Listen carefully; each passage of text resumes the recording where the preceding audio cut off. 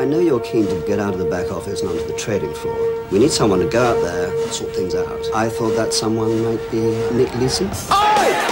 That's what I love about Asia. Anyone can make it. It doesn't matter which stupid school you went to. I just made 2,000 quid. You number one, London. One of our traders in Singapore got drunk the other night and pulled a moon. What did you say? He exposed his bottom. We couldn't go on running Barings like a gentleman's club. We had to look beyond our traditional recruiting grounds to seek out a hungrier breed.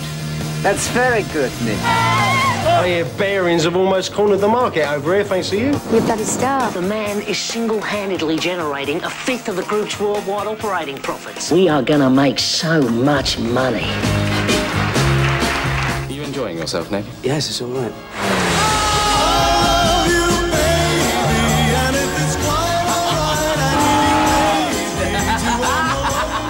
True what they say about your gonads, isn't it, eh? He doesn't do things by the book, Ron. You can't run a modern financial centre with a bunch of hooray Henrys.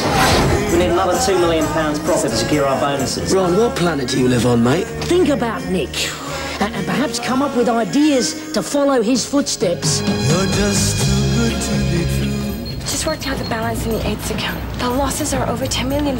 Keep your voice down. Everything will be all right so long as we balance the books by the end of the month. Gamble. That's all the market is. One giant casino. Those losses are getting out of control.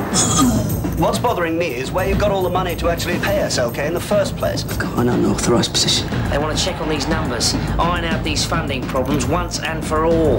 I, Nicholas Leeson, have lost 50 million quid in one